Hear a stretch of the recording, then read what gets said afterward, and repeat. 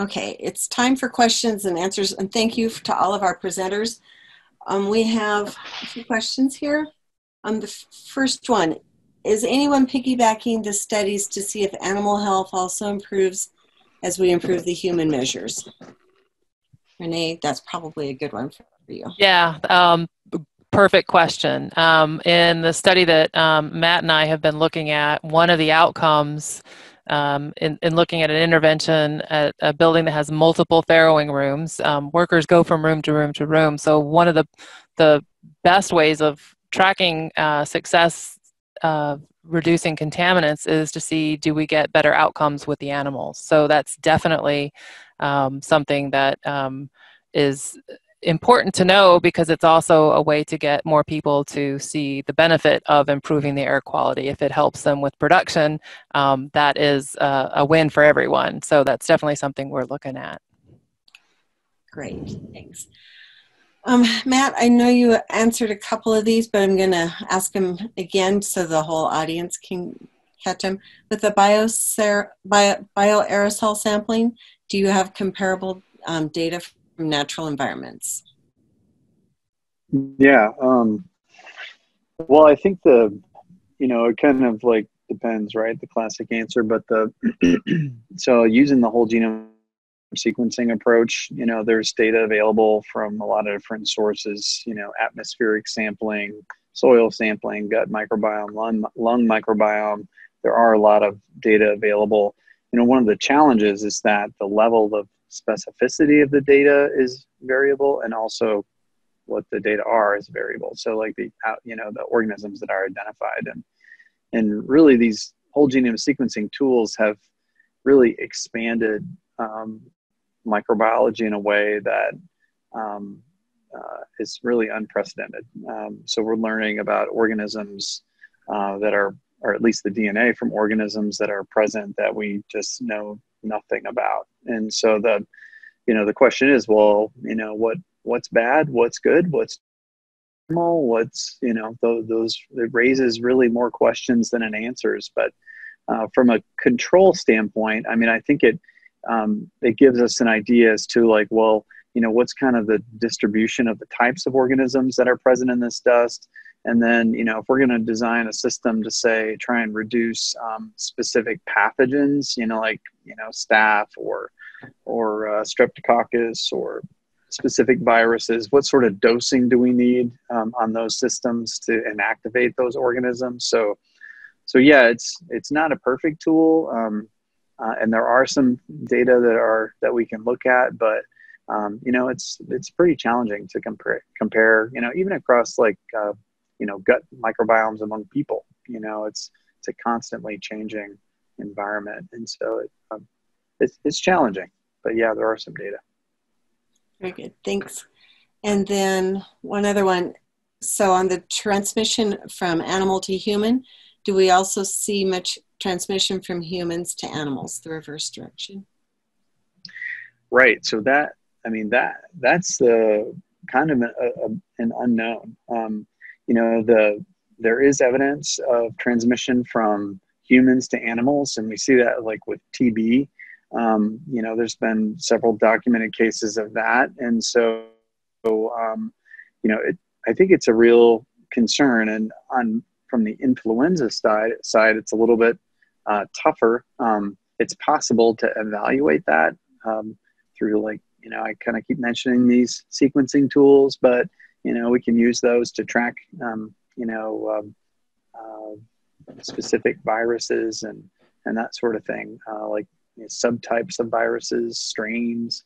Um, so it's it's possible, um, but typically it hasn't been a big focus, and um, you know, you know, in, especially with flu, you know, where we have a vaccine available, you know, a seasonal vaccine, quadrivalent vaccine, you know, so that it's been less of a focus. But I think, you know, with managing and, and dealing with the impact of the current pandemic, I think it's going to have more more of a focus um, in the future. That's just my opinion. Great, thanks. Okay, um, so there's a question on that we don't see a lot, about or hear much about human pathogens as we're applying like liquid manure and spraying that on the fields, or likewise um, pathogens being blown out with the dust from the livestock production buildings. Any thought as to why we don't hear much about that, and is it really an issue, or is it not a huge source of transmission? Yeah, I mean, I think the, um, I mean, I don't see it. Um, you know, given the geographic isolation of a lot of you know the farms, I mean, I think you know the, um, you know, it's it's tough to say something specifically came from a you know farm or a location, and you know, I mean, given the geographic distribution, we're much more likely to see transmission from animal to animal of you know like uh, production, um, you know, like swine pathogens and that sort of thing. And I think there's pretty clear evidence of that. Um, but from um, transmission off the farm, that's that's a tougher one. Um, but it is possible to link those, and often they're linked with you know foodborne outbreaks, um, you know, like contaminated water or or that that sort of thing. And you know, we just absolutely hope that that doesn't happen. And I think producers are pretty good about thinking about this now. Um, um, and thinking about distancing and you know not having buildings so close to one another and changing how people come into the farm how they go uh, how they enter the buildings uh, the processes that they follow for uh, you know preventing movement of microorganisms i mean farms have improved immensely over the last you know 10 years from that um, so so we're making really good strides um, in that area but it's there's still challenges Renee, did you have anything to add? Yeah, there. Um, it it doesn't happen so much with land application um, in um, very um, agricultural areas, but uh, the issue of uh, pathogens when you're applying it to things like golf courses, right, where there's a lot more human interaction. There's a lot of work um, that is done in that field. So the technology is is there. It's just we haven't been looking at it because we don't have as much people interacting with land applied lands uh, in agricultural communities like we do in in other situations. Okay, great. And then we also. Um, had a question or comment on that we don't um, that it works really well when we have livestock and produce operations closer together for you know sharing those nutrients um, but it, do we need to be worried about the transmission of foodborne pathogens if we have that i mean uh, me doing what i do i could see how that could potentially contaminate um, you know lettuce. Um, and so the uh, i think you know um, folks are um, you know so geographical geographical distance you know between those sites is probably important. But um, you know i don't know for sure. And i think looking at the epidemiology of you know food, foodborne illness and where um, what the sources are um, is probably you know the best way to determine if that's a real problem. Um, that's my that's my opinion. Um, but I could see how you know mechanistically how you know stuff is exhausted out of a building, how it could potentially contaminate um, lettuce that was would be right next door. Yeah, I believe like when we look at good agriculture practices, there are things, especially those that are producing, you know, uh, uh, vegetable crops such as lettuce. Good agriculture practices to make. They have a couple different checklists. One of those is to make sure that you've you've not put raw manure or or things on the fields. That there's different check like are like animal feces being used. Uh, are, is there is there barriers to prevent like wild animals from defecating or moving around?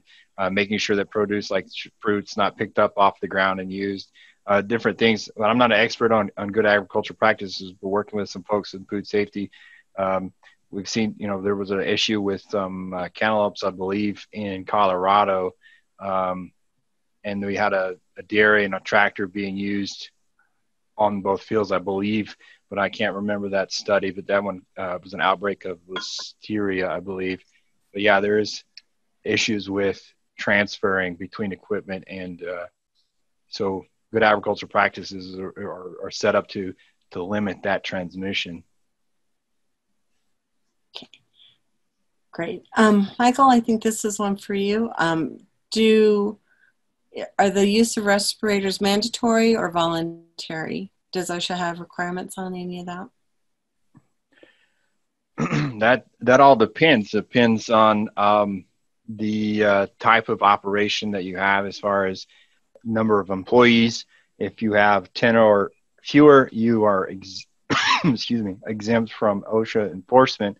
Uh, but there can be enforcement of like general uh, duty clause where you know you you're aware of a particular hazard and you know, some people can uh, become um, injured or, or ill from that practice um, and if you do require as a part of your uh, program if you are, are a, operation where they you know you mandatory you say hey these uh, individuals who do these types of work must wear a respirator.